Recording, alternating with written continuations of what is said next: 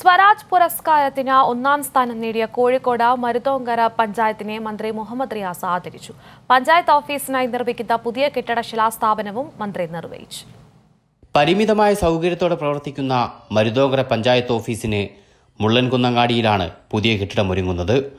ഒരു കോടി രൂപ ചെലവിൽ എല്ലാവിധ ഭൗതിക സൗകര്യങ്ങളോടും കൂടിയ കെട്ടിടമാണ് നിർമ്മിക്കുന്നത്.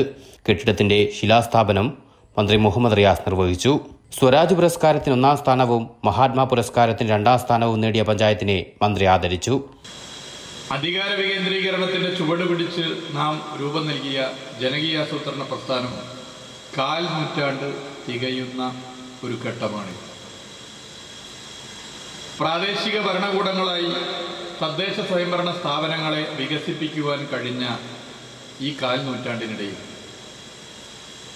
നമുക്ക് ഒട്ടനവധി മാതൃകകൾ നമ്മുടെ സംസ്ഥാനത്ത് ചൂണ്ടിക്കാണിക്കാനാവും.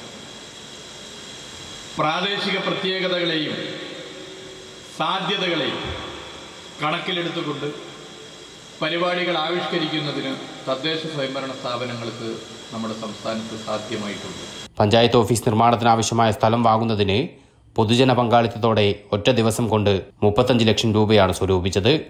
ആയുർവേദ പാലിയേറ്റീവ് സംരംഭമായ സ്നേഹാദര പദ്ധതിയുടെ പ്രഖ്യാപനവും മന്ത്രി നിർവഹിച്ചു. കൈരളി ന്യൂസ് കോഴിക്കോട്.